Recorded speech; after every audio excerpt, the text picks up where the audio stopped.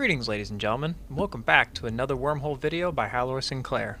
Today I want to go over how to jump into a wormhole that may or may not be yours, and even how to do a site and to find a site.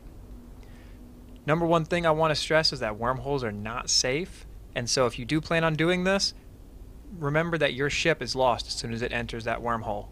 On the other hand, there's a lot of money in this, and it's one of the most fun aspects in game, to me at least.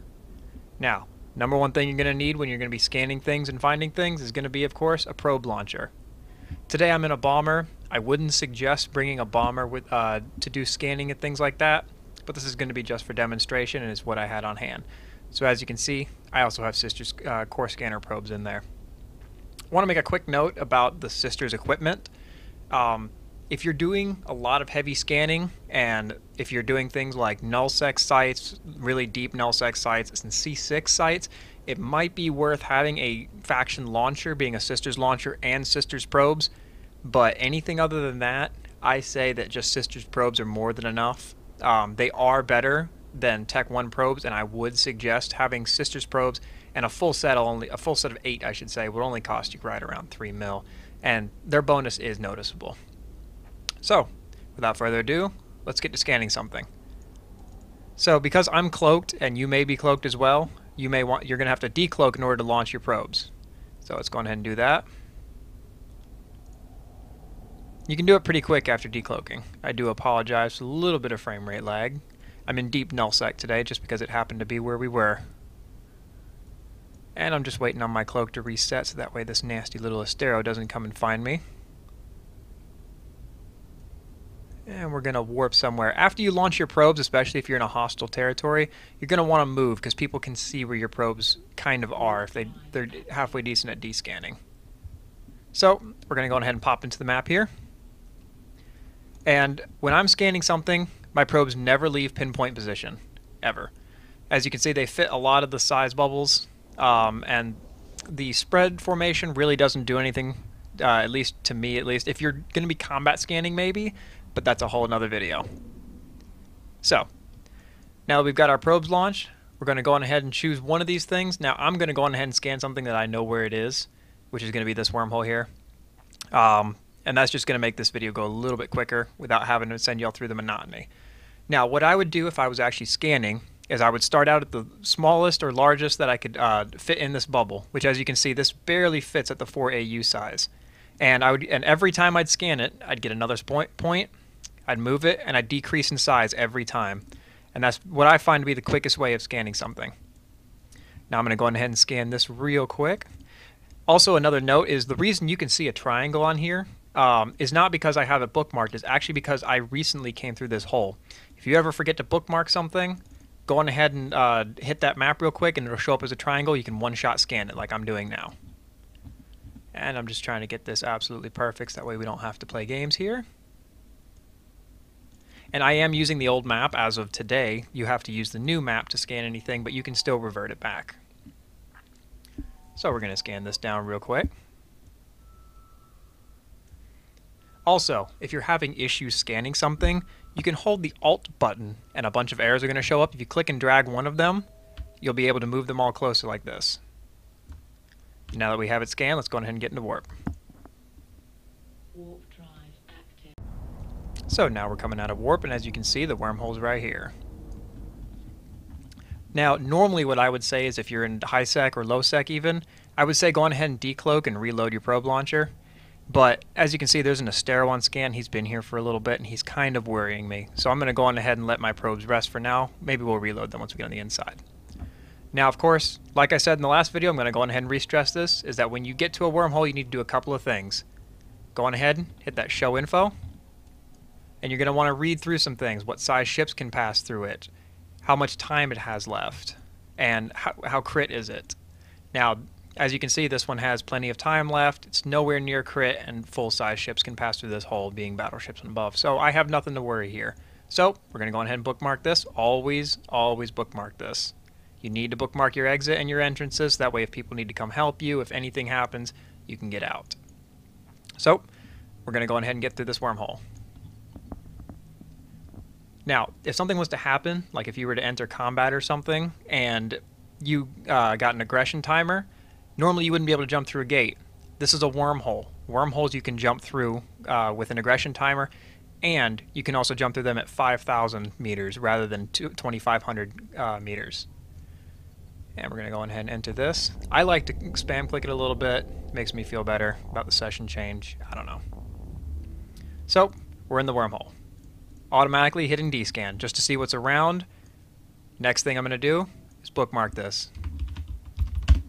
Now we have a way in, we have a way out. Gonna go ahead and take a look at the probe launcher. Doesn't look like very many people live here because as you can see all the combat sites have been run, which are the green sites. So I'm gonna go on ahead, I'm gonna orbit this hole just past the point where I decloak. I'm gonna reload my probe launcher. Normally you'd want to instantly cloak up as fast as you can so that way nobody can see you, but I'm not too terribly worried about it because I happen to know this hole is gonna be a little bit clear.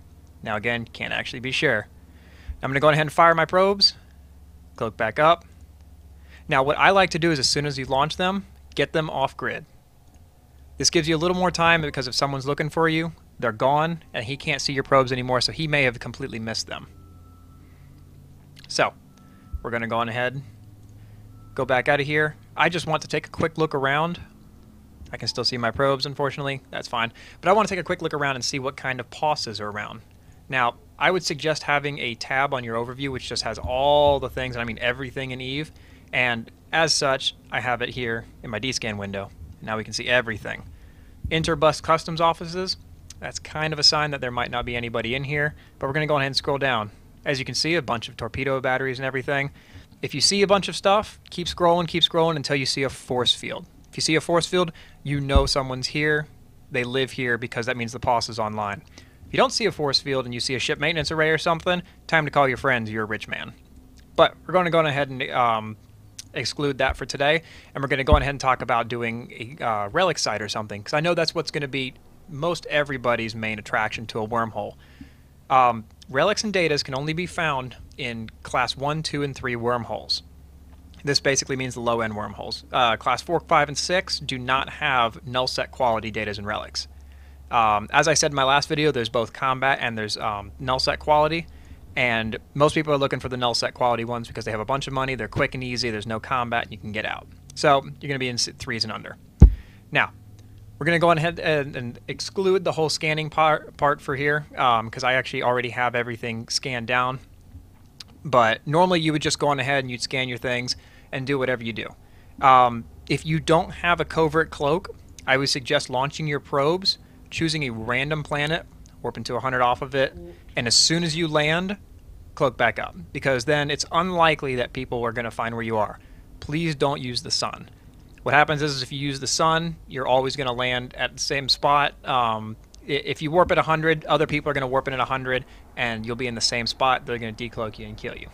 Um, don't warp to the sun. Don't use the sun.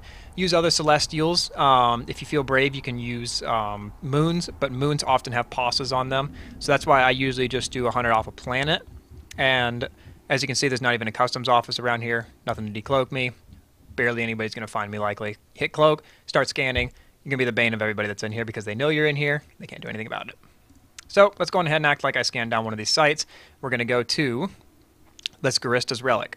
Now, if you're a brand new bro and you just want to figure out what's going on here and everything, I would go ahead and warp it 100 and cloak the instant you hit it. Because if you're in this wormhole and somebody's hunting you down because they know that you're here, they're going to go to their relic sites first because they know that's where everybody goes. So go ahead and warp it 100. Um, doing this, what's going to happen is you can go in there, you can bookmark a can, um, and you can warp directly to a can if need be. Or if they have a uh, recon or something in there, you can easily see that. And it would appear as if I warped to the wrong one. So I'm going to warp to this one. This is a combat um, relic.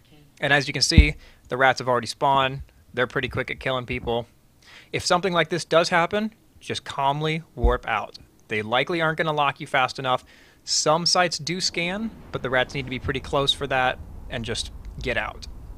Don't worry about it too much. If something does happen, or if you think that you really need to, cloak back up the instant you can. Um, I don't believe that wormhole rats can keep you from cloaking.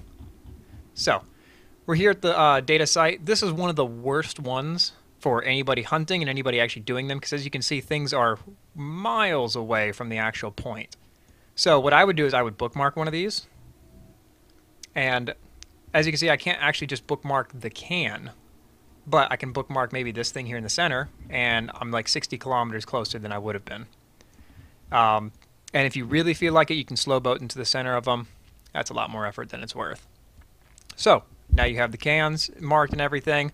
You can go ahead and do your uh, hacking, your scanning.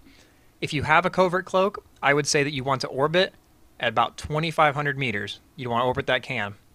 You don't want to be within 2,000 or 500 or anything like that, like a lot of people do, because what's going to happen is, is someone's going to decloak on you, come to shoot you, and then boom, uh, you can't cloak up. If you see someone decloak real quick next to you, you can just hit that cloak, boom, you're gone. And you can try and get away from there. They may try and run into you to decloak you, but that's going to take some effort on their part. Um, if you don't have a covert cloak, I would go ahead and still say orbit right at about 2,000 because that's going to give you a little bit of space so you don't bump off the can. So, you've gone ahead and you've done the um, hacking, you've gotten all your loot, it's time to leave, you've already got it bookmarked. I'm also going to talk real quick about gas sites um, because as I mentioned in the last video, there's some good gas here in wormhole space, I should say. Um, here we have two gas sites. I'm not going to warp to them because I believe someone's going to ninja them later. And what I wanted to talk about was the ninja-ing. When you warp to a gas site, a timer starts. This timer is 20 minutes long, and what happens is at the end of that timer, the rats for that site spawn. Of course, as you can see, you have a 20 minute window to harvest as much gas as you can possibly get in your hold. A lot of people make a lot of money off this and call it gas huffing. You just automatically run in, get as much of the best gas you can. As soon as the rats spawn, you get out. When you're doing this, I would suggest bookmarking the cloud itself. You go to your overview. If you have a mining uh, preset, you can right click and uh, save it from there. And what this does, you can approach the bookmark. The bookmark will be almost 20 kilometers inside of the gas cloud. So if a bomber tries to come at you, he'll be 20 kilometers away because otherwise he'll decloak and you'll see him. It's that easy. So as you can see, that's a little bit of like a safety bubble around you. And uh, if he really is unlucky and it's a 30k gas cloud, he can't even point you without decloaking and burning into you. So you've seen how to do sites, you've seen how to jump in a wormhole. It's rather simple. Just keep yourself cloaked as much as you can. Don't go to the sun. If uh, you accidentally warp into a site that has rats, just calmly get out. Don't worry about it. And I would suggest scoping out your areas before you do them like I said, keep an eye on DScan. Even give the full size uh, or the full overview um, a go, so that way you know exactly what's here. And if you are really, really paranoid, and I would also suggest doing this and other things, um, make a safe halfway in between, like warping to this site here. Or if you're at a planet or you just want to make one real quick, you can warp to a random planet, and halfway in between, just hit Control B, or you can even go into the peoples and places and hit Add Location, and you can just automatically have a bookmark that's in the middle of space. Nobody can find you. So if things hit the proverbial fan, you can warp to that spot. Even if you're uncloaked, they'll have to have combat scanners to get you. So that's a nice little safe way. So, we've gone over all the things about sites. We've gone over mostly just relic and datas and gas and how to keep cloaked. My name is Hallor Sinclair. I'm going to leave y'all at this. Fly safe.